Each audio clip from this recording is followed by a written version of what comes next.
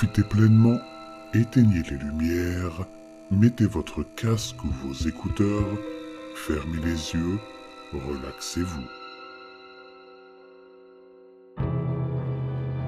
J'ai trouvé un remède contre le cancer.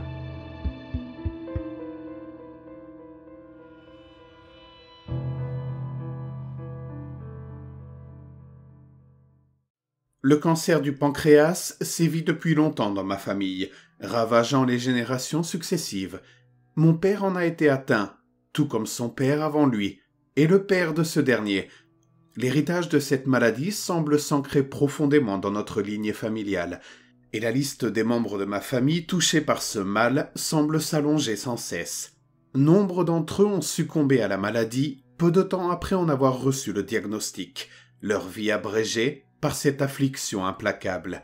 Chaque perte a été un coup dévastateur, déchirant le cœur de notre famille, alors que nous voyions nos proches souffrir atrocement dans les derniers mois de leur existence. Il y a deux ans, le cancer a frappé encore plus près de moi lorsque mon frère a reçu ce diagnostic funeste. En dépit de tous nos efforts, il a perdu son combat contre la maladie en l'espace de six mois. Cette perte m'a profondément affecté, renforçant ma détermination à trouver une solution à ce fléau familial. Depuis mon enfance, j'ai toujours été perçu comme une personne dotée d'une intelligence vive et d'une curiosité insatiable. Ces traits m'ont mené à poursuivre une carrière dans le domaine de la recherche médicale. Depuis six ans, je consacre ma vie à la recherche sur le cancer du pancréas, travaillant sans relâche en tant que chercheur spécialisé dans la médecine expérimentale. La mort de mon frère a été le catalyseur d'une immersion totale dans mon travail. Ce deuil a été un tournant, m'entraînant dans une spirale de travail acharné et d'investigation scientifique. Chaque jour, je plonge plus profondément dans mes recherches, m'efforçant de trouver une lueur d'espoir dans les ténèbres de cette maladie. L'année dernière, mes efforts ont commencé à porter leurs fruits de manière significative. J'ai réalisé une percée majeure dans le traitement du cancer du pancréas grâce à ce que nous avons baptisé la thérapie combinée. Il s'agit de ma première avancée véritablement prometteuse, une combinaison révolutionnaire d'anticorps monoclonaux, de traitements par cellules souches, d'infusions de vitamines puissantes et de chimiothérapie ciblée, délivrées directement et uniquement aux cellules cancéreuses. Les résultats obtenus lors des études in vitro étaient stupéfiants, montrant une efficacité de 100%. L'enthousiasme et l'espoir ont atteint leur paroxysme la semaine dernière, lorsque nous avons analysé les résultats de notre premier essai clinique préliminaire. Les données étaient au-delà de nos attentes. 87% des participants étaient en rémission totale, sans aucune trace de cancer.